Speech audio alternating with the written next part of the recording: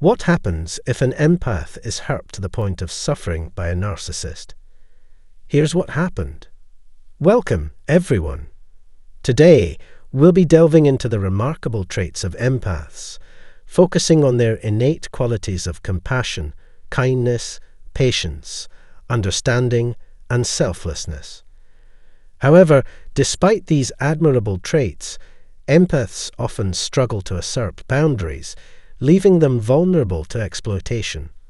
Even individuals with immense patience have limits that can lead to their breaking point.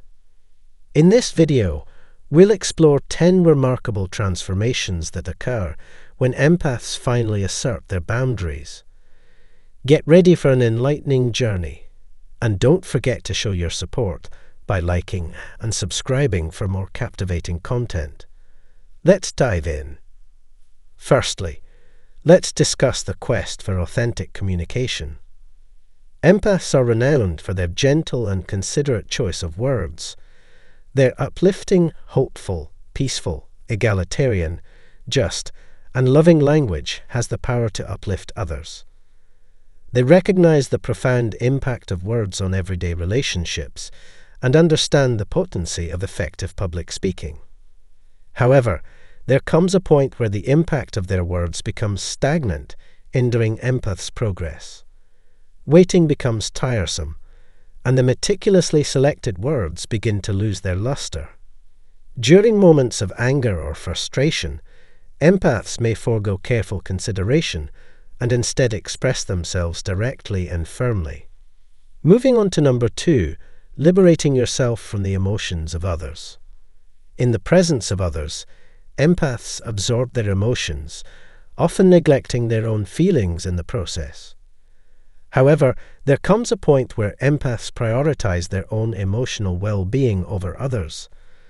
After tirelessly dedicating themselves to improving the lives of others, empaths redirect their focus towards their own mental health. This shift occurs when the individuals they've been supporting exhibit toxic, abusive, or anxiety inducing behaviors. It's crucial to acknowledge that empaths don't lose interest in others. Rather, they become acutely attuned to their own emotions, which may be challenging for some to comprehend. Empaths recognize that prioritizing their mental health is the most effective approach to addressing their own struggles even if it means being less attuned to the feelings of others. Next, let's discuss the unsettling silence. Empaths excel at lending a compassionate ear and offering support to those in need. They often become the go to confidants for friends and acquaintances seeking solace. However, constantly shouldering the burdens of others' problems can take its toll. At times, empaths reach a breaking point where they no longer have the capacity to listen and must prioritize expressing their own feelings. Empaths experience hardships just like everyone else and require an outlet to articulate their emotions. Consequently, individuals, particularly narcissists, may be taken aback when empaths, who were once dependable listeners, abruptly refrain from offering their empathetic ear. The rise of acerbic mockery is the fourth thing. As their very nature, empaths radiate kindness, caring, and love. Having to deal with constant mistreatment from their abusers, on the other hand, can slowly turn their behavior into one that is angry and sarcastic. To fight back against the inflated sense of self importance that their abusers give them, empaths may use sarcasm to poke holes in their minds. When empaths go through gaslighting, victim blaming, manipulation, smear campaigns, and other types of narcissistic abuse, they can lose their sweet personality. 5. The end of being able to understand. People who are empaths naturally understand how people act, and they are always interested in studying and observing the complex web of personalities they meet. Their intuitive skills allow them to see through people's masks and get to the heart of who they are. Unlike people who make quick conclusions, empaths try to understand the soul, mind, and heart of someone in a deep way, trying to understand them as a whole. However, as empaths get close to their limits, they lose the ability to fully understand other people. Because empaths are always taking in, analyzing, and making sense of other people's flaws and attitudes, they eventually become mentally exhausted. So their brains, which used to be very open, reluctantly shut down, making it hard for them to understand the actions and flaws of those around them. It's not a surprise that empaths have a hard time figuring out why people do the things they do after going through abuse, manipulation, and many other bad things. 6. The pulling back of helping hands. Being an empath means that a person is naturally kind and willing to help others, whether they are people or animals. Unfortunately, some people take advantage of and abuse this good quality for their own gain. When this kind of abuse gets too much, empaths pull their loving hands back into their pockets to protect them. Imagine being in a relationship where you give your partner your whole heart and soul, but they never return the favour. Of course, there comes a time when things just can't be taken anymore, and someone has to say what they think. Dear empaths, you are not demanding. Instead, you believe in the balance of a relationship in which both people give and receive. You want relationships that meet the needs of both people in a fair and harmonious way. But when you're with narcissists, or people who are only interested in themselves, that ideal friendship stays out of reach. Giving isn't the problem. The problem is empaths not being aware of their own resources and setting healthy limits to keep others from taking advantage of their kindness and generosity. Number seven, the release of anger that has been held back. A lot of people admire empaths for how calm and patient they are. They take on other people's attention seeking habits and rarely let their own annoyance show. On the other hand, every empath has a breaking point where their anger can't be held in any longer and explodes out of control. Under their calm exterior, empaths are quietly dealing with their own problems, waiting for the right time to let out all of their feelings. This person seems to have a lot of patience, but even the calmest empath can get angry out of the blue. The eighth thing is the light going out. In the narcissistic world we live in, empaths are like beams of light and hope that shine on other people's lives. Their optimism has the amazing power to make people feel better and ease their worries. But empaths get tired just like a light bulb that stays on all the time. The constant shine of super empaths may lose its shine and turn into a sad atmosphere. That's when empaths' emotional fatigue sets in, and they can't shine their light on those who need it because they are too busy dealing with their own sadness. The ninth one, the going away of sensitivities. Empaths are naturally sensitive and are always very aware of how their words and actions might affect other people's mental and emotional health. They move through the world with awareness, thinking carefully about how each action will affect others. But after a while, empath's sensitivity levels start to slowly go down. Imagine always trying not to offend other people, but being easily offended yourself. When this happens, anger could boil over in a matter of seconds.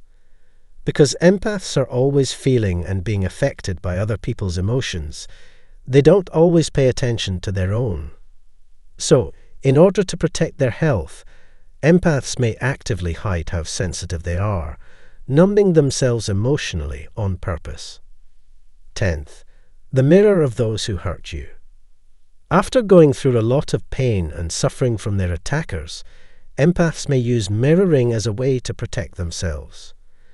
By acting and behaving like their abusers, empaths try to show their attackers how wrong they are and give them a taste of their own medicine. When empaths show abusers how they act, the abusers become deeply affected and can't take their eyes off of the image. Abusers may feel uncomfortable when they hear the sounds of mockery, ridicule, or even threat. It is important to remember, though, that empaths who use mirroring should not be seen as making excuses for more attacks or violent behavior like this. When people hit their breaking points, they may act in ways that aren't normally associated with them. It's important not to think that this means empaths are becoming cruel and angry. People should understand that empaths are just like everyone else. They are people with flaws and limits. In the same way, empaths may feel like they need to teach their attackers a lesson. Feel free to share your ideas and thoughts in the area below for comments. Let's make more people aware of empaths and warn them not to cross limits with them while also recognizing and appreciating their natural kindness, compassion, and patience. If you think you might be an empath or have personal stories to share, please do so. When was the last time you had to deal with something that made you test your patience? In the comments below, you can connect with our caring community and make your opinion heard. Please like this movie and subscribe to our channel to see more interesting videos. Thanks for seeing it. Welcome to the latest installment of Unveiling the Narcissist. It's a pleasure to have you all here. Today, we delve into the intricate web of a narcissist's anxieties, shedding light on the underlying reasons behind their constant fretting. Remember, fear is the driving force behind a narcissist's actions, often leaving them entrenched in paranoia and apprehension. Their minds are consumed by a plethora of worries, albeit some entirely unfounded, yet they perceive them as genuine due to their deep seated paranoia.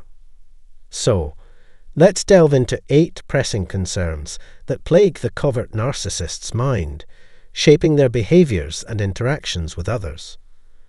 Worrying is a natural human experience, but for narcissists, it stems from a place of profound insecurity fueling their perpetual need to safeguard their fragile sense of self. While our focus today is on the covert narcissist, it's important to note that many of these concerns resonate across the spectrum of narcissistic personalities. The fear of abandonment looms large in the covert narcissist's psyche. Eight concerns that keep narcissists awake at night. 1. Fear of abandonment. Narcissists dread the thought of being left alone. They harbour deep seated insecurities about people eventually walking away from them. To combat this fear, they strive to exert control over others' thoughts, emotions, and financial dependence.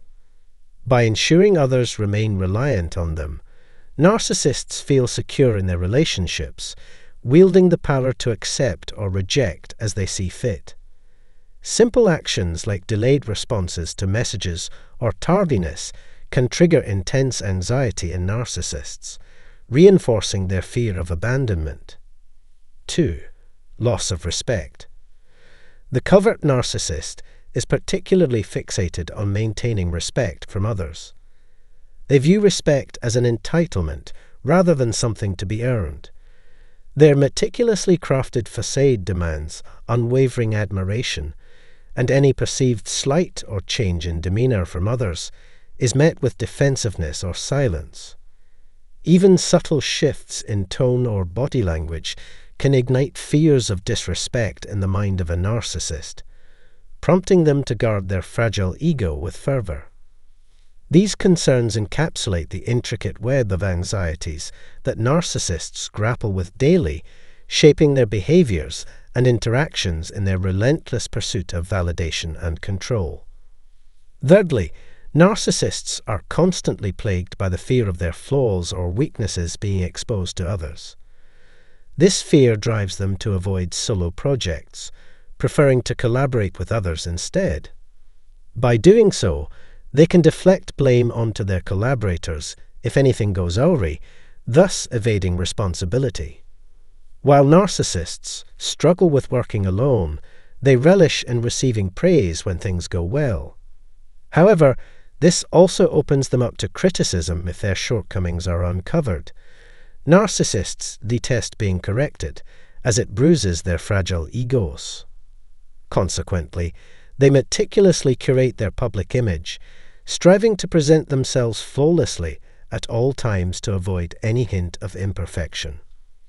Additionally, narcissists harbour a deep seated fear of blending in with the crowd and being perceived as ordinary. They loathe the idea of being equated with others, striving instead to maintain an air of superiority. This compels them to invest significant time and effort into cultivating their achievements and outward appearance. Their aim is not merely to boast about their accomplishments, but to assert their dominance and remain in the limelight.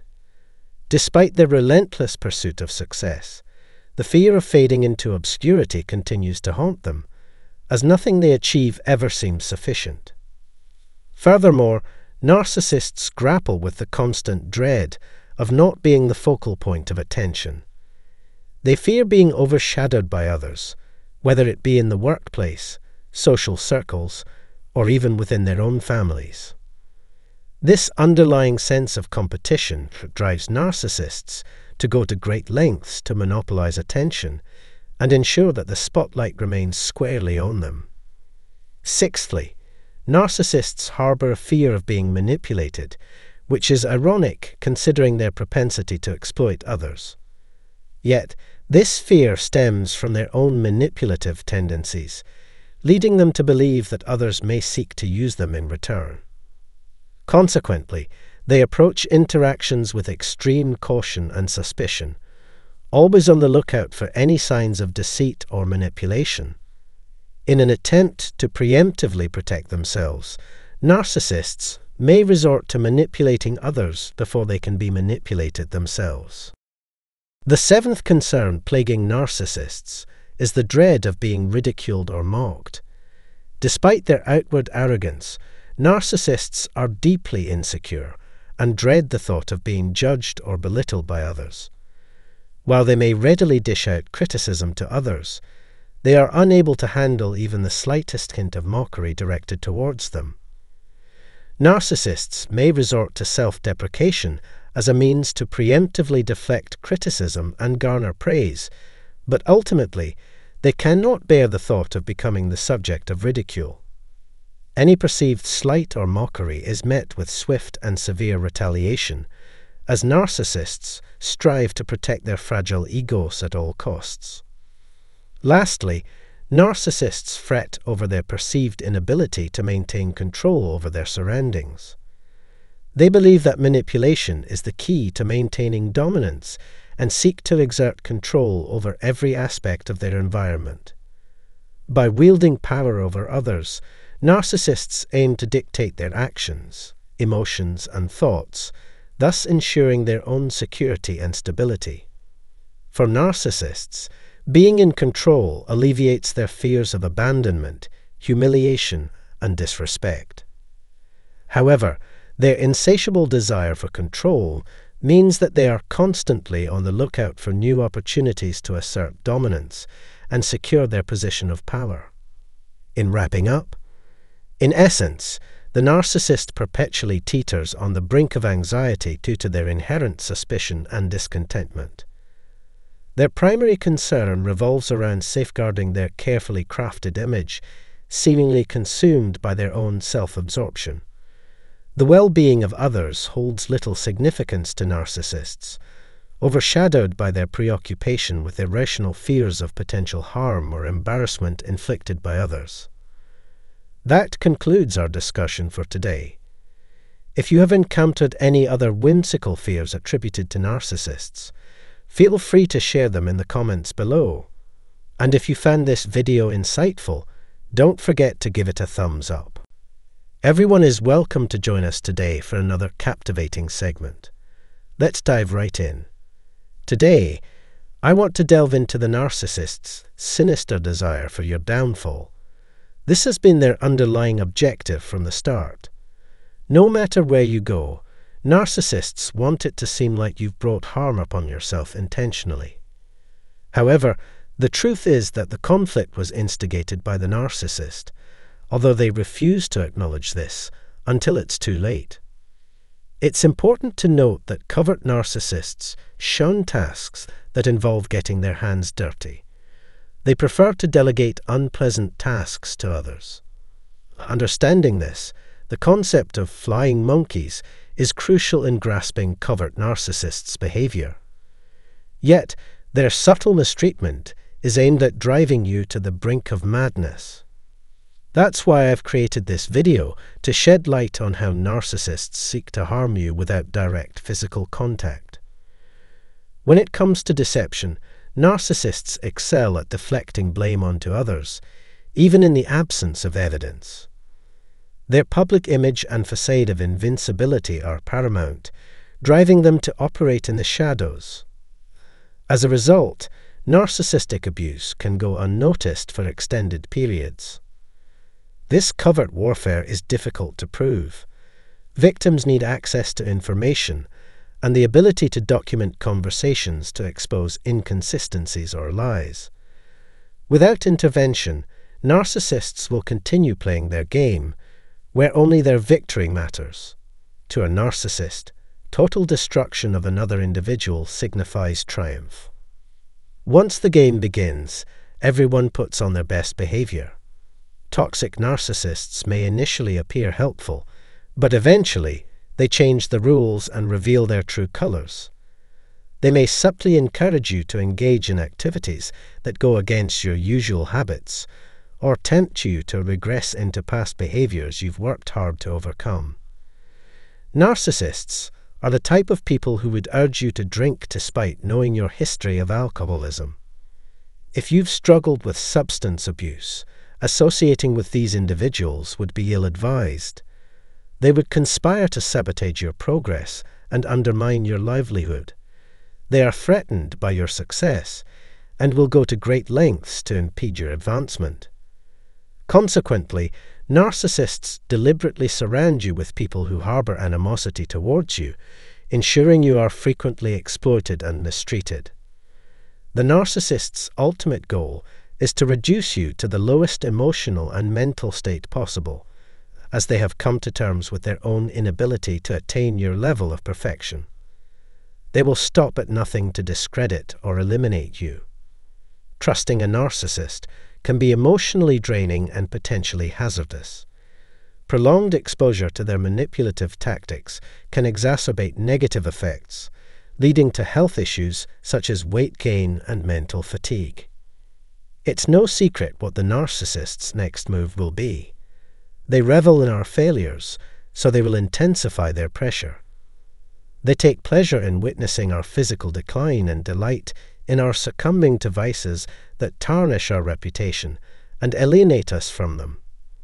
Narcissists behave in this manner because they harbour self loathing and envy towards your accomplishments. The narcissist could be anyone, from a family member like a parent, spouse, or sibling to friends, employees, or in laws. This is because narcissists perceive personal relationships and family dynamics differently from the rest of us.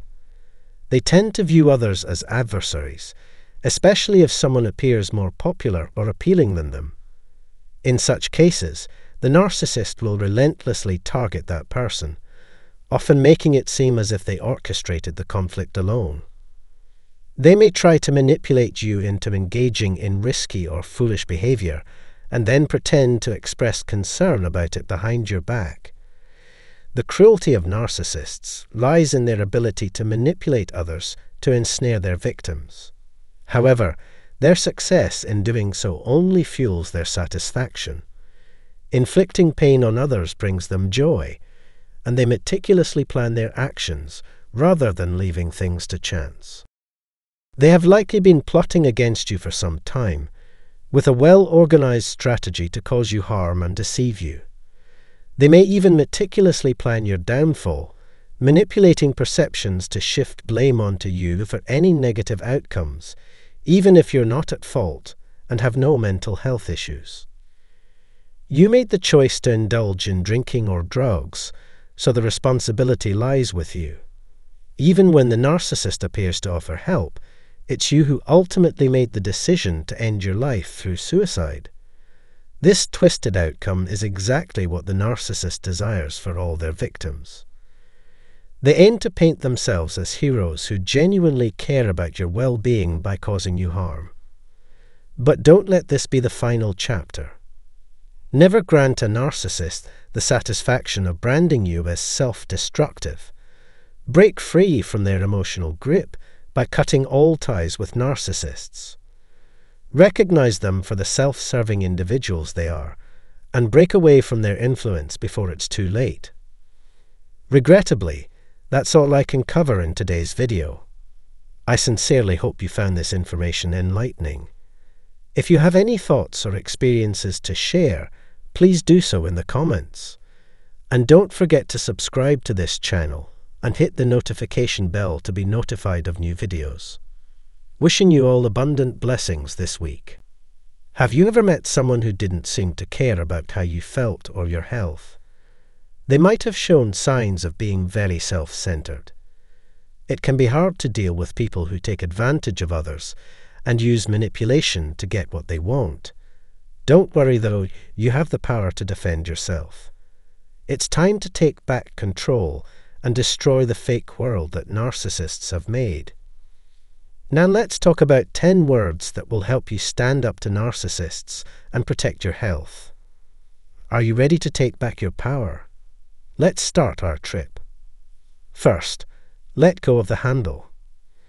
It can be tiring to deal with a narcissist, especially if they won't give up their power in a fight or competition. They have an unquenchable desire to win at all costs and can't give up. It doesn't matter how far behind they are. Narcissists will always try to win and avoid losing. There's no doubt that this habit can make you angry. But remember that it turns into a mental fight. Believe in your own decisions and don't let what they do affect how you react. Show that you have no fear and a firm attitude. In the end, they will give up. Prepare for counterattacks, but find comfort in taking back control and putting your health first. Know that you are standing up for yourself and your mental health when you let go. Say no to a narcissist when they ask you to. For narcissists, saying no is like a knife to their fragile ego. It hurts their sense of being loved and how strong they think they are. They make avoiding the word no their main goal, which makes them use manipulation and control to get what they want. Though it's important to be strong and clear about your limits by saying no when you need to. If a narcissist asks you to do something that could put your safety or well being at risk, you can say no. If they keep putting pressure on you, put your own health and safety first and leave their company before they hurt you. Don't forget that you can make your own rules and say no to what they want. Accept the idea that taking care of yourself shouldn't be tainted by the fake guilt that their tricks cause. Third place. Say these words. I don't care. Narcissists need attention and will do anything to make themselves feel good about how important and right they are. There's no denying that being close to these kinds of people is tiring. Narcissists, on the other hand, can be stopped in their tracks with the words, I don't care. These three words, which may seem easy, cut to the core of a narcissist's pride. Their whole sense of self worth depends on approval from other people, so saying, I don't care, means they don't want to be recognized for anything. Not letting them exist is the same thing. Some people have a hard time understanding why narcissists need so much praise. They don't really know who they are so they're always looking for outside validation of their presence. They can't feel like they're truly alive unless other people think they're important. 4. Stop trying to control me. It can be hard to deal with a narcissist's constant need to be in charge. It's important to know, though, that you can set limits and stop them from trying to control you. It may seem scary to stand up for yourself and stop them from controlling you, but it is very important for your health. Keep your cool and take charge of the situation. Make it clear that you don't want to be used as a tool and that you want to be treated with respect. Being aggressive or rude is not necessary when you want to stand up for yourself. You might even earn the narcissist's reluctant respect if you set clear limits in a calm way and let them know about them. Even though they might get angry, it is still better than giving in to what they want. 5. Say, it has nothing to do with you.